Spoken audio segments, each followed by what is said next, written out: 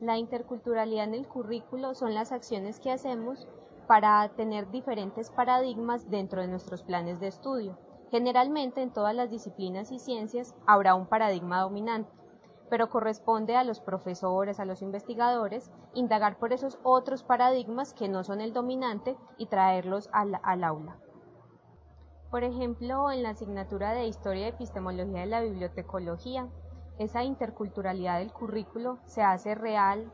se materializa a través del plan de estudios en una selección muy cuidadosa de diferentes autores provenientes de diferentes nacionalidades, con ideas distintas, incluso aunque sean del mismo país, para tener un diálogo intercultural con los autores. En la historia, en la otra asignatura que tengo, que es Organización y Tratamiento de la Información, también tengo la misma estrategia y es buscar entre los autores de los que tenemos conocimiento cuáles son los que nos aportan ideas diferentes entre ellos y ponerlos en comunicación con los estudiantes.